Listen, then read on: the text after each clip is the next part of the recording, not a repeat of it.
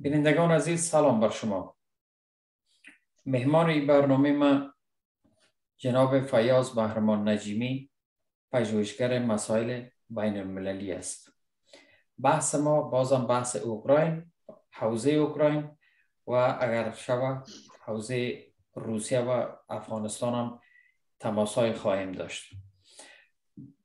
این دومین بحث است که پس از صحبت با آقای ادریس رحمانی ما سازمان دادیم. امیدوار هستیم که در امر روشنگری و دادن اطلاعات مثبت و ثقه برای شما کمک کنه. نجیمی از اینجا شروع می‌کنیم که یک نظریه مطرح شده که پوتین با حمله بر اوکراین در یک باطلاق گیر کرده. و این باطلاق امکان زیادش وجود داره که یا به کودتای داخلی در کرملین منجر شود و یا خود پوتین ترور کنن شما که مسائل رو دنبال می‌کنین این خبرها را از چی نوع خبرها می‌دانید درود با شما بیننده. من فکر می‌کنم که یک مقدار تبلیغات بیشتر در جنگ روانی است که در غرب صورت می‌گیره و عمدتا اونمو مدل را که وجود داشته از دوران شوروی سابق که با مو خط های گذاشته این قضا رو مطرح می‌کنم. اساسا در روسیه فعلا حتی حتی چند روز پیش یک نظرسنجی بود آخرین نظرسنجی های بلومبرگ بود. که محبوبیت پوتین خیلی بالا رفته در بین مردم. به خاطر از اینکه که جنگ همیشه ناسیونالیزم است و ناسیونالیزم همیشه مردم بسیج می‌کنه. یک بخشی از جوانایی که چند هزار نفره که عمدتا اونا را بیشتر تحت تاثیر غرب اینا معرفی می‌کردن اونا یک بخششان زندانی شد یک بخش فرار کردن از روسیه. و جالب هم است که فرزندای بسیاری از امی اولیگارشا و رهبرای دولتی هم در اونجا بودن. که یک بحث کمک جداگانه است که یک اشاره که بعدا می‌کنم منتها منتها در رابطه با ای که کودتا صورت بگیره یا نگیره خب بعض فرضیه های وجود داره که این او را مطرح می‌کنن که طور مثال پوتین در مدت که می مسئله جنگ آغاز شده کمتر در برابر کامره ها ظاهر میشه یا اگر کامره ها ظاهر میشه تقریبا حالت تجدید است در کدام جای زندگی می‌کنه و ولی تا جایی که کل چیا نشان میده و پوتین از خانه شخصی خود که در اطراف مسکو است انتقال کرده کرملین. و همین دفتر که همیشه تلویزیون نشان میدن او عمدتا دفتر کرملین شد من فکر نمی کنم که موضوع کودتا مطرح باشه بلکه یک موضوع دیگه است که من سابق هم در صحبت خود با شما گفته بودم که پوتین یک آدم بیشتر اپورتونیست بود. از نقطه نظر فلسفه سیاسی یک آدم نیست که بسیار فلسفه روشن داشته باشه.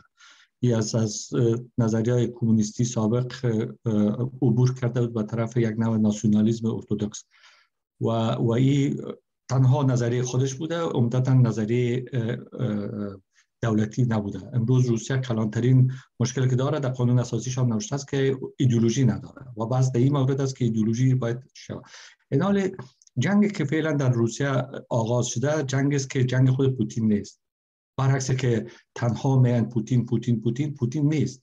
این یک تیم بسیار قوی نظامی هستند که که دو بحث قبلی آن براتون گفته بودم که هارتلاینرها یا امو, امو سرسخت که بودن از وزارت خارجه تا وزارت دفاع تا دیگه دیگه اینا پوتین به این جنگ کشاندن و و بنابراین پوتین در حقیقت در پشت اونمو نیروهای یا در پیشروی اونمو نیروهای قرار داره که سابق را در سال 1999 را به قدرت رسانده یعنی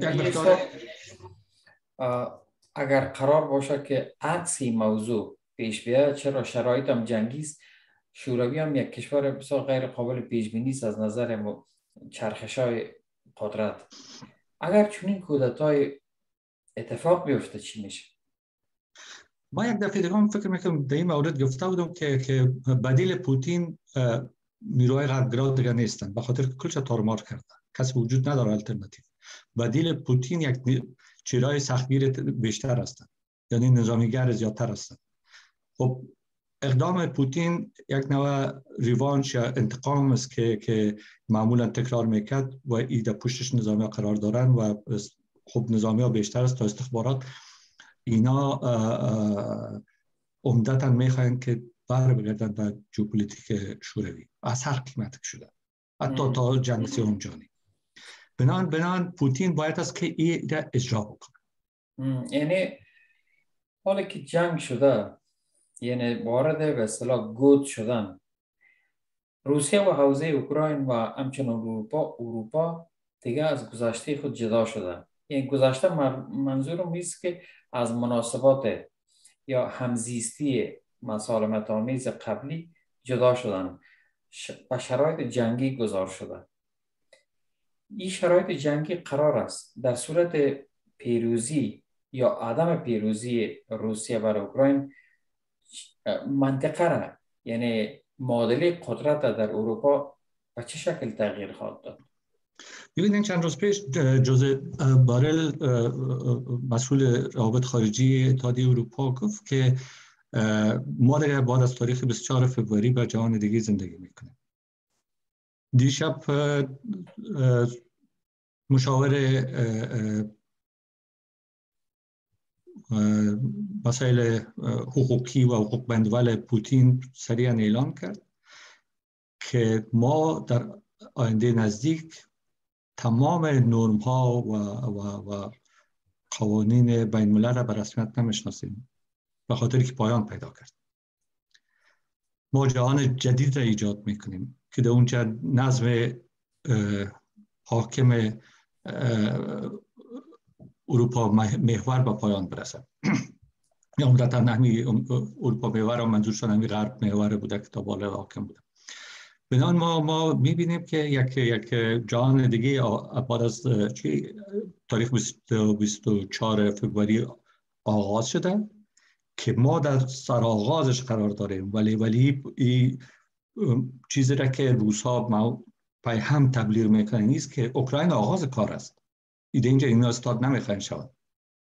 اینا یعنی تو امکان بسیار زیاد داره که که به جوپولیتیک اگر شوروی پیمان وارسا نرسن حداقل کشورهای پیمان وارسا را ناتو را از از اوضاع بیرون بکشن. دو حالت وجود داره. یا جنگ سی اونجا نیست چون غرب مهمترین گپ است که جنگ مثلا وزیر اقتصاد فرانسه اولین بار اعلان کرد که ما جنگ کاملا ایار اقتصادی را با روسیه اعلان می‌کنیم. جنگ اقتصادی عمدتا عقبش جنگ نظامی است. بنان ما ما می‌بینیم که وضعیت به سمت میره که موضوع مرگ زندگی باز مطرح میشه. آیا, آیا اینا در اینجا استاد چند که غرب تقریبا ضربات نهایی خود زده از اینکه بیشتر چیز نداره بغیر از صلاحیت اتمی یعنی ضربات نهایی منظورتان از بیش از پنج هزار مورد تحریم نیست که بر روسیه وضع شده؟ بله در مجموع خب اتحادیه اروپا تحریمش زیاد نیست از 140 150 تحریم بیشتر نمی‌رسه. اما مجموع تحریم هایی که امریکا وضع کرده تا 5500 تحریم میگه شک از 2014 تا بالا است. ولی بسیار چیز جالب است. چیز جالبی است که که از نقطه نظر استراتژیک غرب اشتباه بزرگ را انجام دادن به این که اینا تمام تحریم ها را آوردن سر میز انداختن. و در نتیجه دیگه امکان فشار بالای روسیه ندارن یعنی در دوران اتحاد شوروی زمان جنگ سرد امریکایا از از 1917 شوروی همیشه تحت تحریم قرار داشت. کل وقت تا سقوطش. اما غرب همیشه تحریم را انجام می‌داد که که آزارش بده ولی که دو سه تا تحریم بزرگ دیگر را نگاه می‌کرد. همیشه تحت باعث ابزار فشار. این تحریم ها را که اینا همیشه روی میز انداختن در قط یک روسیه یک نوع قربانی سیاست بزرگتر جانی شد. به این معنا که زمانی که پوتین و تاریخ 4 فوریه رفت و پکن اونجا بحث های بسیار جدی باید صورت گرفته باشد. توافق مکمل با چین صورت گرفته. و این توافق به این بوده که روسیه آمد اینجا با حمایت که عموم یک یک اعلامیه مشترک پخش کردن در اونجا امی دوران تجارت در سال 2022 به 154 میلیارد دلار رساندن و ترکیبش وقتی که در آستانه یا شروع جنگ شد چین ایره به 200 میلیارد بلند بود یعنی کسر که از. چی از تجارتی که بین اروپا و روسیه با وجود می آمد که 50 میلیارد دلار بود. او را چین آتا گرفت ولی چی چیز شد؟ غرب تمام تحریما را انجام داد و یک بخش زیاد از که از سال 2014 روسیه یاد گرفته بود به اون خاطر بعد از این هر تحریم میشه یک روز بعد قوانین می‌کشن سابق یک ماه دو ماه چهار ماه طول کشید. اما برای کل تحریم ها اینا آمادگی داشتن. حالا اینی اینی نواقص و اینی سوراخ‌هایی را که امکان داره که اگر چین بخواهد که بر تایوان حمله بکنه این اینا را چین می‌تونه پر بکنه. از پیش آمادگی بگیره. یعنی غربی ها این اجازه میتن و یه آسانی که هم اوکراین از دست بره هم تایوان از دست بره و اینا سیل باشن؟ اساسا اساسا برنامه به می گونه است که که که در مجموع نظم جهانی را تغییر بدن. و این آغازش است یعنی تغییر نظم جهانی به معنای عقب نشینی یا وادار شدن به عقب نشینی غرب است. غرب در یک سطح خود رسانده از هر نگاه.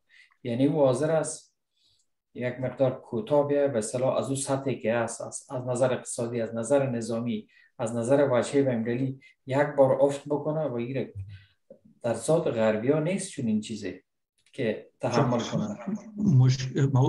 یک کم اجازه بدین و دو سه نقطه کم پشتر بریم. پس برتان ببینین در غرب یک یک وقتی که ما یاد می‌کنیم حال دیگه اونو غرب نیست که که واحد باشه.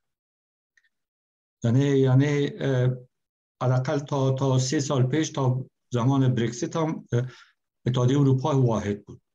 چرا انگلستان از اتحادیه اروپا بیرون شد؟ به خاطر از اینکه که اتحادیه اروپا مانع امو, امو برنامه های جدید بریتانیا بود. که اگر یادتان باشه بعد از صحبت های قبلی خودم در این مورد یاد کردم که انگلیس ها به دوران سیاست سال 1936 خود برمیگردن. یعنی گسترش امو, امو قدرت نظامی خود دیگر ندارن اما اقتصادی. و تاثیرگذاری به حیث یک قدرت جهانی بر, بر مسائل مختلف بین المللی. چیز بسیار مهمی است که که استراتژی های گذشته تقریبا دوام دارد. مثلا امی امی نظری استراتژی قلب زمین مکندر که تقریبا اساس قدرت بریتانیا بود. امروز هم از که موضوع نقش ایرو آسیاست.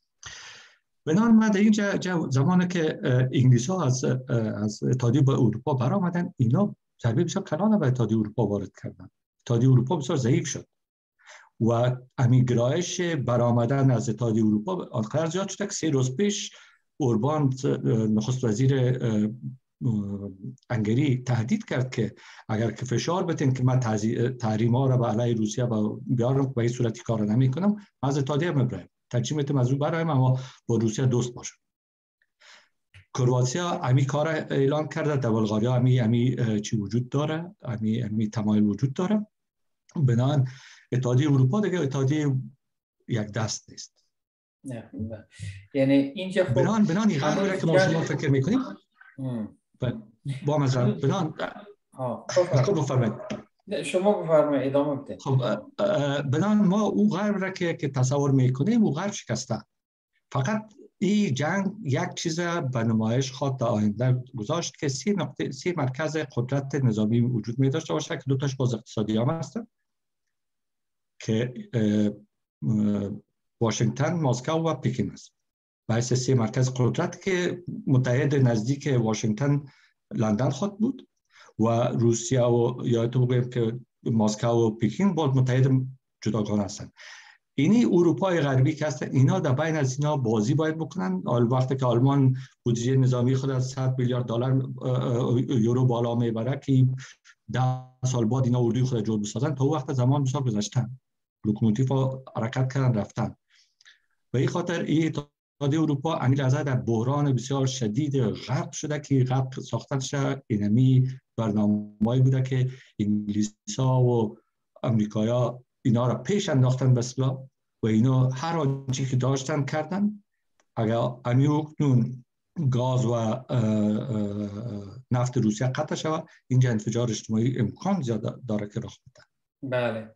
به خاطر که یعنی در کل شما اگر نتیجه بگیرین از این ماجرا که خب انوزه جنگ دوام داره برنده و بازنده نهایی مشخص نیست. یعنی واقعا کدام طرف؟ چی کسی واقعا به دام محاسبات خود در جنگ افتیده؟ روسیه یا اوکراین یا امریکا؟ از این سه محور کدامش واقعا در این جنگ به دام افتاده؟ من فکر می‌کنم که کل از اینا به دام افتادن و برنده دو کشور است. روسیه و چین و چین و هندوستان. چطور؟ خب شما وقتی که که دادای اقتصادی رو مطالعه بکنین امروز چین جای اول داره در از نقطه نظر آید ناخالص سرانه خود. امریکا دوم و هندوستان سوم. هندوستان به سرعت به طرف بالا میره. وقتی که شما اقتصاد هندوستان با اروپا غربی مقایسه یا اتحادیه اروپا مقایسه کنید اقتصاد اتحادیه اروپا بسیار پایین است. کوچک شده میره. و از هندوستان باز شده میره. هندوستان امی که موضع در برابر روسیه نکرد به خاطر عزیز که عمدتا جهان خسته شده از از امی امی سیاست های غربی که بخصوص بعد از سقوط شوروی جهان یک قطبی بوده و تمام غرب هر آنچه که امکاناتش بود تعمیل بر جهان کرد. زیر نام دموکراسی آزادی و دیگه و دیگه حداقل در این کشورهای اسلامی تمام بی‌ثباتی ها را عاملش غربی هستند هیچ چی دیگه نیست. از از شاخ افریقا ببینید تا افغانستان. ولی ولی در پایان اینا چی دادن برای این کشورها؟ هیچ چیز ندادن. زیر نام دموکراسی و آزادی آمدن. تقریبا در هیچ یک از این کشورها دموکراسی نب... ایجاد نشد. پایان بهانه ها بسیار تکراری شده. خب به همین خاطر است که, که, که اگر شما مجموع فاکتور را کنار هم بگذارین می‌بینید که که حداقل امی کشورهای گروه 20 کشورهای گروه 20 که خارج از اتحادیه اروپا و آنگلوساکسون میشه. مثلا عربستان سعودی ترکیه نه؟ هندوستان مثلا مکسیکو مثلا ارژانتین مثلا برزیل همش در کنار روسیه قرار گرفتن. به خاطر که اینا خسته شدن از اینمی نوع سیاست دیکتات امریکایی و غربی. و اینا می‌خواین که که جهان چند قطبی باشه که یک نوع توازن به وجود باید در مناسبات بین المللی و همیشه یک طرفه نباشه. بنابراین در این جریان دو کشور هندوستان کاملا نفع می‌بره و خاطر از که هندوستان همیشه یک سمبول کشورهای در از کشورهای از در گذشته غیر متحد بوده و سیاست های مثبت داشته و یک حوزه نفوذ کلان را هندوستان چی از طریق بیشتر هم از طریق قدرت نرم در آسیا و افریقا داشته و چین همچنان با امکانات اقتصادی بزرگی که داره. ولی به این خاطر است که که امریکا نقص می‌کند اینجا بیشتر و اتحادیه اروپا. در اینجا در حالی که جنگ جریان داره و برنده و بازنده مشخص نیست یک تیوری دیگه هم اینجا وجود داره که جنگ نامتعارف تازه بر علیه روسیه در حال آغاز شدن است. از تمام جهان یک کمپاین شروع شده حتی به شمول پاکستان که داوطلبان جنگی یا به قول رمان نویس فردریک فورسایت سکهای جنگ از هر گوشه دنیا. جمع میشن و میارن به محور اوکراین و سر روسیه و روسیه هم به نوبت خود اجیرای از خاور میانه را. حتی شاید احتمال داره که اگر بسیار داغ شود اما تمام متفقین روسیه علیه غرب ایران شامل میشه در این قضیه داخل شوند. حتی ورود حزب الله و تمام نیروهای نیابتی بسیار کارکشته ایران هم وارد صحنه شوند. یعنی اینجا جنگ به اصطلاح مرکزش یا آتش داغش به اصطلاح آتشدان جنگ خود اروپا میشه. آیا چنین چیزی را هم اروپا و امریکا اجازه میتن یا ای که بسیار یعنی برخلاف تعامل برخلاف انتظار ما ناگان یک معامله صورت داده خواهد شد. بیم یک موضوع را از یک بود دیگه ببینیم. یک از بود برخورد تمدن ها ببینیم این نظریه که تقریبا یک دهه 1990 بسیار بسیار دربارش بحث می‌شد یک باری فروکش کرد. ولی ساموئل انتینگتون زمانی که کتاب برخورد تمدن ها رو نوشته کرد یکی از بهترین نظریه پردازهای استراتژیک امریکاست. و بسیار دقیق بسیار مسائل از پیش دیده بود. او حوزه فرهنگی را حوزه سیاسی و فرهنگی را جدا ساخت از مسائل اقتصادی. جنگ های گذشته را او توضیح می‌کرد که بنیاد اقتصادی دارد. اما جنگ های جدید در دوران گلوبال گلوبالیسم جنگ های هستند که که عمدتا خصلت فرهنگی دارند. و او حداقل امی امی تمدن ها را به چند و چهار تمدن بزرگ و مجموعه نو تمدن تقسیم می‌کنه چهار تمدن بزرگ مسیحیت و اسلام و کانفوسیوس و هندویزم میگن.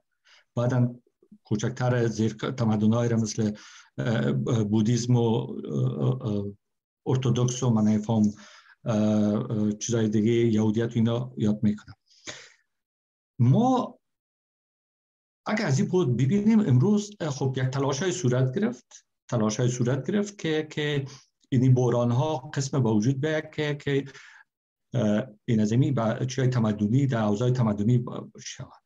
مواجه طور شود که مسیحیت حداقل در برابر اسلام باشه عمدتا اگر شما از سال از سقوط شوروی اصلا میگن که همین خود جنگ تمدنی از دوران حمله شوروی در افغانستان آغاز شد بین اسلام و ارتودکس اما قال شما در حداقل در 20 سال اخیر می‌بینید که بیشترین جنگ مسیحی ها علیه مسلمان ها انجام دادن یا در مسلمان ها انجام دادن. بعض وقت جنگ های دیگه را اینا در برنامه ها داشتن که مثلا کانفوسیوس با در برابر اسلام قرار بتن در چین. مثلا هندویزم در برابر اسلام قرار بتن در چین. اما چین و هندوستان با اینی آگاهی رسیدن که که اینمی با هم جنگ نکنن.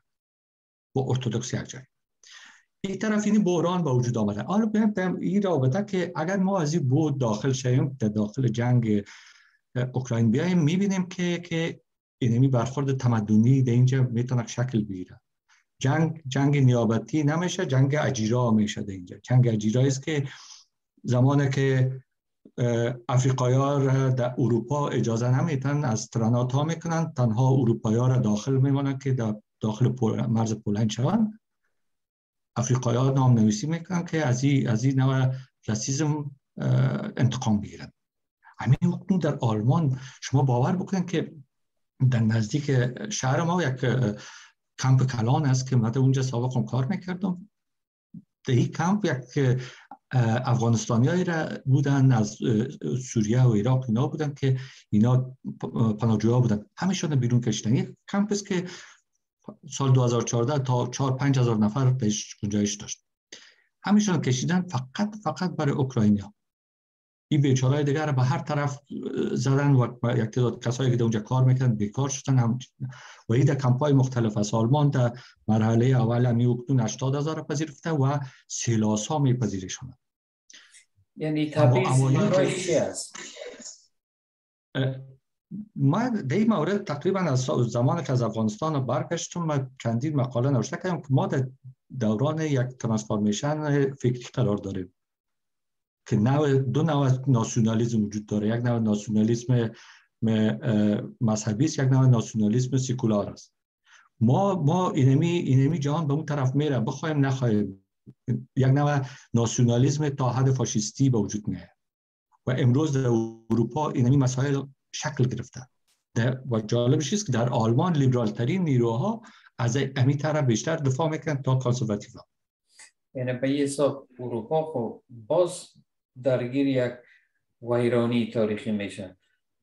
خب پیشتر من عرض کردم برتان که, که جهان به اون سمت میره. امی امی که در رابطه با نظامی روسیه و استاد نشدنش دیگه و دیگه مطرح کردم. طبیعی که که یک جای باید یا استاد شه یا ای که پیش میره خب یک نظریه دیگه هم که آقای رحمانی مطرح کردی بود که امی جنگ روسیه را به افلاس میکشانه و این دو فایده کرد. یکی ناتو را دوباره رویه داد مصمم ساخت که روی پا بیستد و اتکا کنه به امریکا و همچنان خود اروپا را با تمام سرنوشتش توفه داد در واقع پوتین به امریکا که به اصطلاح از این بود سر امریکا حساب باز بکنن یعنی وحشتی که از عمله روسیه اینا خوردن به حد شوک دیدن که بیخی خود انداختن در دامن امریکا. او اینطور میگه شما برداشت خب با, با حرمت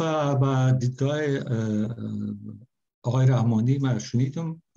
ما طور دیگه فکر می‌کنم. به این مانا که ممکن است که, که یک مقدار اطلاعات از اونا از جانب باشه که, که از امریکا میه و من این امکان دارم که, که در مرکز اروپا شتیم همزبان با از زبان آلمانی و فرانسه روسی و این طرف هم یک مقدار انگلیسی دقل تصویر ما از مجموع اطلاعات که از این کشورها هست شکل دیگر رقم شکل می‌گیره. ببینید گرهار شروع در یکی از چهرهای بسیار معروف است آلمان و یک نخست وزیر آلمان در زمان بود که جنگ عراق شروع شد و به جنگ عراق نگفت. و وزیر خارجیش یوشکا فیشر آمد و اون وقت به دونالد رامسفلد گفت که تو بر من اسناد بیار نشان بده که من با اساکر ما روان بکنم و جنگ عراق یا نه این آدم باعث یک anti-Americanist شهرت داره. همزمان رفیق شخصی پوتین است. و در گازپروم در, در هیئت مدیریش هم است. همزمان از کنسرسیوم pipeline Nord Stream یک و دو ریاست می‌کنه. آدم مثل برلوسکونی رفیق شخصی چی است؟ و همزمان همزمان یک anti-Americanist است اگرچه یک میلیارد multi میلیاردر است. به این شکل مثلا اوربان است به این شکل طور مثال از, از زیمان بود در, در چک اینا کسایی هستند که که عمدتا امو, امو قدرت ناتو را, را به اشکال مختلف تاثیرگذار هستند که ضعیف بسازند دیروز تصادف در این وضعیت چی شروع در دوباره رفت ماسکو و در تلویزیون های آلمان هم دوبارش تبصره کرد و و فشارهای در اینجا داده آمد و آدم که این مسائل قابل قبول نیست. اروپا به صورت قطع یک دست نیست. فرانسه باعث کسی که ما فرانسه شناسی خواندیم و دقیق میفهم که فرانسه دکترین نظامی فرانسه دکترین ضد شوروی نبود و دکترین ضد روسیه نیست. فرانسه همیشه یک کشور است که از نقطه نظر روابط بین المللی که آخرین حرف برای نزدیکی شرق غرب گفته همین همین سفرهای اخیر مکرون هم یک مقدار سنت قدیمی فرانسه است و تا با هم فرانسه بسیار موضوعگیری تند برابر چین نمی‌کنه هر تقریبا هر یک روز با پوتین زنگ بزن صحبت می‌کنه بنان ما باور مدهی است که که ناتو اونو همبستگی را که داشت نداره. فقط کشورهای بالتیک جمهوری سابق شوروی که رهبرای از اینا مثل رهبرای دو دهه افغانستان دسانتی از امریکا بودن. تمامش در ظرف سی سال اینا از امریکا آمدن. مثلا پولند و رومانی. اینی سه چهار کشور هستند که بسیار در برابر روسیه تحریکات کشورهای پای غربی عضو ناتو اینا تقریبا روابط دارن که اونجا از نقطه نظر اقتصادی بیشتر محاسبه می‌کنن تا نظامی. به خاطر از اینکه هیچ نوع بدیل اینا به می زودی ندارن در برابر نفت و گاز و زغال روسیه که جاگزین بکنن خود آزاد بسازن. و بر دراز مدت هم ندارن. به این خاطر تاثیرگذاری اقتصاد بر چی تاثیر داره؟ یعنی شما جنگی که روسیه آغاز کرده هم از نظر استراتژی و هم از نظر جغرافیا یعنی در هر چیزی که بخواید دیگه انجام میده. یعنی پیش میره به قلب اروپا و یعنی بر در حاشیه جمهوری های قبلی شوروی خود میرسانه و کوشش میده ما بعد طرف اروپا را بر من مشکل است. ببینید در روابط بین المللی یک حرف معروف است که که آینده را آدم پیش بینی کردن نمی‌تونه. هر کسی که در مورد آینده صحبت بکنه و بسیار دقیق بگه که تو یک حکم صادر بکنه و آدم جدی نیست. حوادث هر روز به اشکال مختلف می‌تونه با فاکتورهای مختلف شکل بگیره. به این خاطر ما نمی‌تونیم که بگوییم که اینا در کجا یکی است که برنامه است که گفته میشه تحلیل است که در جای مختلف بدون از اینکه منابع روسی باشه. غربی ها مطرح می‌کنن که این طرح به یک جای استاد نمیشه. اما باز اما در سوال جنگ نامتعارف یا جنگ اجیران در حوزه اوکراین بسیار یک سرمایه گذاری کلان شده. روان است که جنگ از تمام کشورها هر کس که دوتر در برابر پول بجنگه بیاین و از اینجا یک اشاره هم شد از افغانستان اخیرا گزارشی هست که طالبا و دیگه خود گروه های اسلامی افغانستان قبلا یک تجربه جنگیدن بر ضد ارمنستان دارن. حزب اسلامی قبلا در جنگ ها شرکت کرده بود.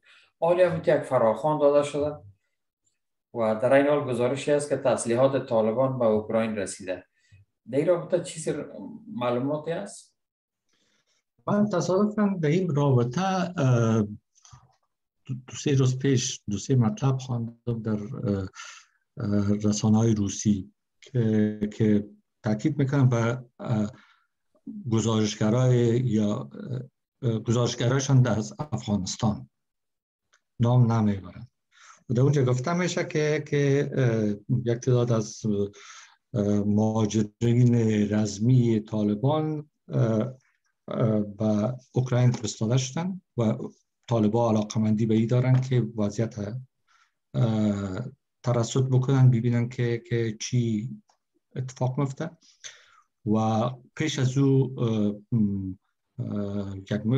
تعداد زیاد از طالبا ویزای اوکراین گرفته بودن.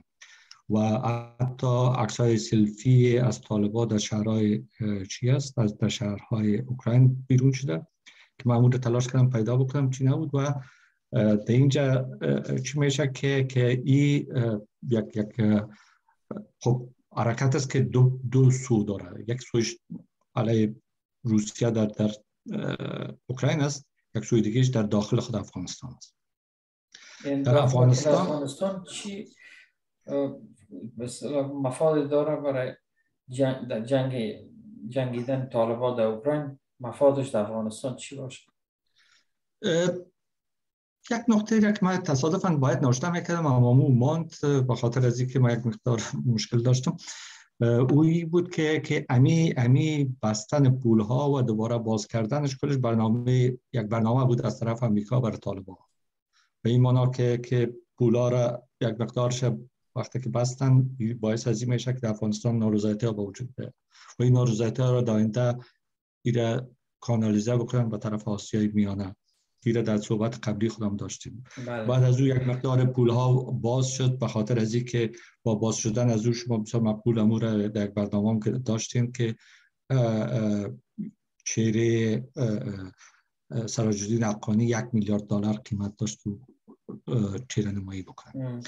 من این دو موضوع کاملا ارتباط مستقیم داره و گروه افغانی من سابق هم درباره جزئیات هم نوشته کرده بودم که ای از یکی از ساختارهای چی بود؟ ساختارهای سیایی و شش بود. بنابراین اینا اینا وظایف را دادن بر از این مثلا یک سلسله تغییرات در این اواخر به وجود آمده که واقعا قابل چی از قابل دقت است. در ساختار ستاد مرکزی ارتش طالبا در کنار او مولوی بدخشی. چی است؟ من نمیفهم نامش که رئیس ستاد مرکزی ایشان است. یا کس دیگه را آوردن به نام فسیودین در معاون از او ساختن ملا ملی خان این ملا ملی خان کسی بود که همراه انس حقانی از زندان جدا رها شد و وساطت امریکا رها شد و به قطر انتقال داده شد. آلو را آوردن رئیس معاون ستاد ساختن. دوم ملا متقی ملا متقی چی است؟ نامش از این خانواده. ملا متقی حقانی را رئیس امو امو لشکر 209 بعد چی بود؟ الفتح ساختن در سابق من فهم شاهین بود به. نامش اونجا ساختن. و عمدتا وظیفه از این چی است؟ وظیفه از این بود که اون نیروهایی را که که می‌تونست که در برابر طالبا قرار بگیره که داستان اون ازبک ها اینا روشن است رو یک طرف میمانیم. اما امی امی جماعت انصار الله را اینا در سمت شمال فعال ساختن از تاجکستان. بله. بنان بنان نیروهای اسلامی را از طریق این نکته است که اگر که جنگ در در چی دوام بکنه در اوکراین دوام بکنه اینا امور رقم که آقای رحمانی هم میگه جای دیگه رو باید از روشن بکنن. اونا از قفقاز یاد می‌کنن. ما داخل, داخل آسیا میانه میشه یا به اوکراین فرستاده میشه؟ دو تا است. یکی خو در, در بر اوکراین کافی نیرو وجود داره که داوطلب است. امی اوکنون آلمان رسما اعلان می‌کنه که فاشیستا نیونازی های آلمان اجازه ندارن که برن اما سیلاس ها میرن به طرف بله. پس, بنان, بنان در آسیای میانه را باید از به ثبات بسازن که یک مقدار نیروی روسیه از از اون مناطق اگر چی شود منتها یک چیز چیزای دیگه هست که که آدم می‌تونه دربارش فرضی های دیگه را به وجود بیاره. به این که در داخل تاجکستان نیروهای هندی و نیروهای چینی هم وجود دارد این در صحبت های بعدی قبلی خودم بله. بسیار چیز بله بسیار چیز مهم است که روسیه در جنگ اوکراین نیروهای اروپایی را زیاد شامل نساخته بلکه نیروهای را از, از شرق دور آورده او قطعات را که در مرزهای چین و تا چی بود اونجا را آورده چرا آورده به خاطر از که این مناطق کاملا برش امن است. در سابق زمان اتحاد شوروی سه لشکر بزرگ چین لشکرهای حوزه‌ای 50 60 هزار چی بود؟ در سه نقطه یکی من چی منگولیا بود یکی در نزدیک پکین بود و یکی دیگه هم جای دیگه بود اینا وجود داشتن چین اینمی اینمی لشکرهای خود دو تا بسیار کوچک ساخته لشکر نیستن امو امو از قل اردو هم که بالاتر من نمیفهم که چی است که مجموع چند قل اردو میشه چین از مرزهای روسیه تمام اساکر اساسی خود بیرون کشیده به طرف جنوب بردن به طرف تایوان یعنی در بین تفاهم بین روسیه و چی وجود داره که نیروها را حالا امنیت شرق دور روسیه را چین می‌گیره و این طرف است به این خاطر آسیای میانه ممکن است که وظیفه هند و چین باشه که امنیت از اینجا رو بگیره. بله. شما اشاره کردین که یعنی قطعات پیاده طالبان به اوکراین رسیده. اشاره شما به روزنامه و نشریات روسی بود. در رابطه او کدام نشریات؟ ده ایره فکر می‌کنم که نیزویسی گازتا اگر شما علاقه داشتین من برتان می‌تونم بفرستم او به این مورد چی داشت و یک نشریه دیگه هم بود که من نمیفهم در کدام جای هم تصادف دیدم که دو تا حداقل در دو جای امی بحث آغاز شده و امی کسی که در این مورد نوشته کرده فکر می‌کنم و آدم است که در جنگ سابقا در افغانستان بوده جنگ ها رو دیده بلد هم است روزنامه‌نگار نظامی است و تحلیلگر است. او این بحث ها رو برای انداخت. یعنی قطعات انتحاری است؟ در این مورد چیز گفته نشده صرفا گفته شده که از مسیر پاکستان و ترکیه اساکر طالبا و اوکراین فرستاده شدن ما هم یک گزارشی داشتیم از چند مورد که و تمامی جنگجویان داوطلب اینا پاسپورت افغانی میدن که خارج شوند. یک گزارش بسیار خوب. تشکر از شما از صحبت همه جانبه و پژوهشی شما که در این رابط انجام دادیم و امیدوار هستم که بیننده ما برشان دلچسب بوده باشه تا برنامه بعدی ما با شما خداحافظی می‌کنیم. منتظر حوادث میمانیم. ممنون شما. حتما انکشافات بعدی جالبتر خواهد شد. سلامت.